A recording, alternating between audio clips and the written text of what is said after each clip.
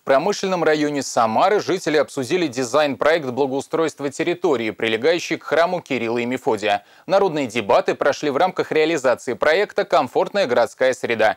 Его главное отличие от аналогичной прошлогодней программы в том, что всем локальным объектам благоустройства присвоен статус общегородских. Подробнее в нашем материале.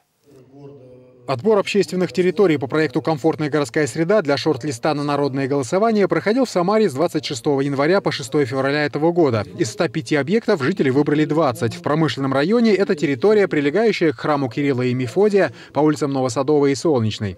А в сторону от концентра у нас еще большая территория, к сожалению, еще не облагороженная.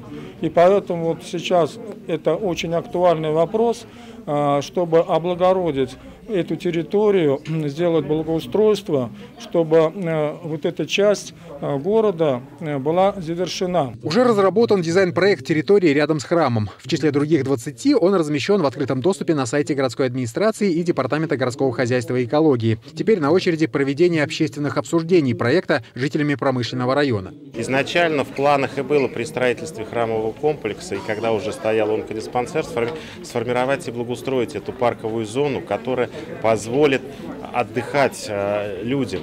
Э, и в первую очередь, если мы говорим об онкодиспансере, это онкопациенты, которым есть необходимость гулять. Все предложения и замечания общественности по дизайн-проекту строго фиксировались, с тем, чтобы позже откорректировать документ с учетом мнения жителей. Хотелось бы, чтобы жители приняли активное участие в этих обсуждениях и выразили свое мнение для того, чтобы нам было понятно и э, чтобы те желания, которые они выразили, были учтены для того, чтобы благоустроить эту территорию на благо жителей этого микрорайона. Следующим этапом реализации проекта «Комфортная городская среда» станет проведение рейтингового голосования, которое состоится с 1 по 3 марта этого года. Из 20 объектов жители будут выбирать те, которые нуждаются в благоустройстве в первую очередь. Владислав Жирнов, Дмитрий Столяров. Новости губернии.